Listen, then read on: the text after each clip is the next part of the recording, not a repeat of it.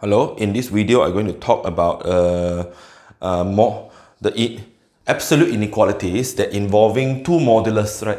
The two modulus which have modulus both side. You have modulus both side. So for this case, you can't apply the formula for uh, basic definition, right? Basic definition. Basic definition, you have modulus of x greater equal a. Do you remember this? Uh, so you have 1 greater or 1 less than negative a. So if, if you have less than a, uh, then you have x, you just reverse everything. This one become n and this one become greater than, right? So, okay, this formula can't apply for this case. You have to remember when you see there are two modulus both sides. Ah, for this case, I'm going to use the method of squaring both sides. Alright, so you have to understand this. Uh, modulus of x uh, equals to, uh, for example, modulus of x is the same as the square root of x squared, right? Square root of x squared. So if you go and square, if you square the modulus, this is this this is actually the same as you square the square root of the x squared, right? You square. So the square root will become uh, square root together with square, you eliminate, become x to the power of 2, right? Uh, to become x to the power 2. So the same thing here.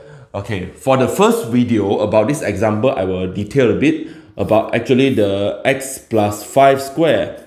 Uh, I can rewrite this modulus.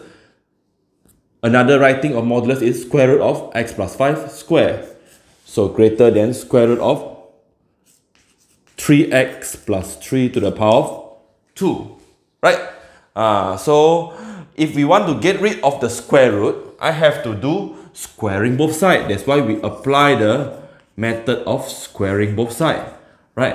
If you square of the square root, it will have x plus 5 to the power of 2. I have to remind you again, we only apply squaring both sides if there are modulus on both sides. Alright? Uh, because if you see the base definition, they are only modulus of one side. The other got no modulus, right? So this base definition, this formula, we can't apply to this case, okay? So now, then we have greater than, if we square, we have 3x plus 3 to the power of 2, right?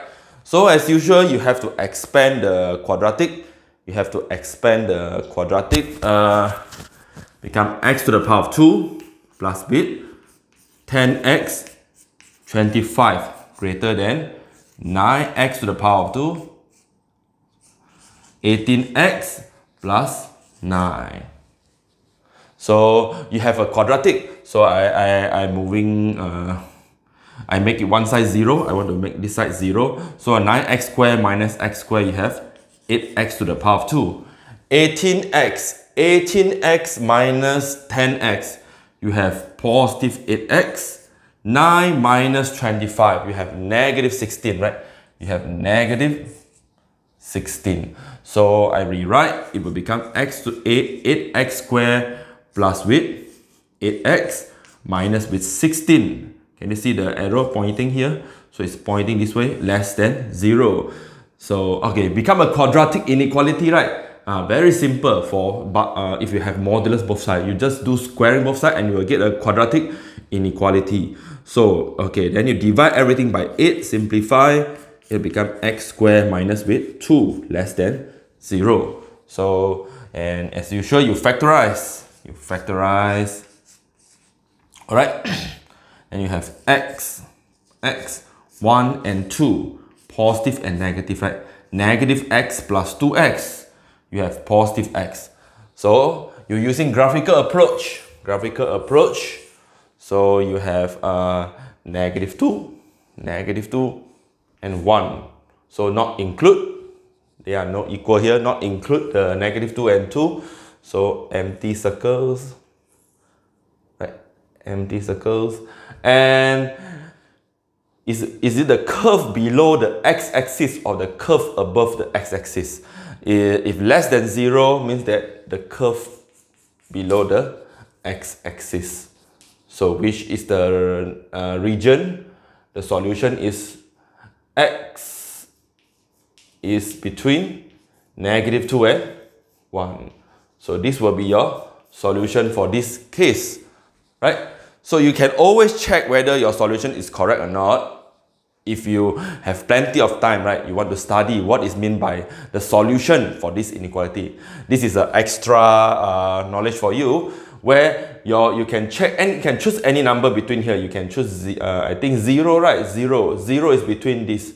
So if you put zero, zero, uh, you will get five, right? Uh, greater than three. Yes, it's true, right? It's true or you put uh, another value you can choose a negative 1 right? Negative 1 is inside here also. So you choose negative 1 negative 1 plus 5 and 3 times negative 1 plus 3 this way you have 4 4 is greater than uh, 0 yes it's still true right? So it means other value than not in the range is uh, is not accepted by this inequality right so I think that's the uh, this is the way how you uh, solve the case where the absolute inequality have both side modulus. Alright.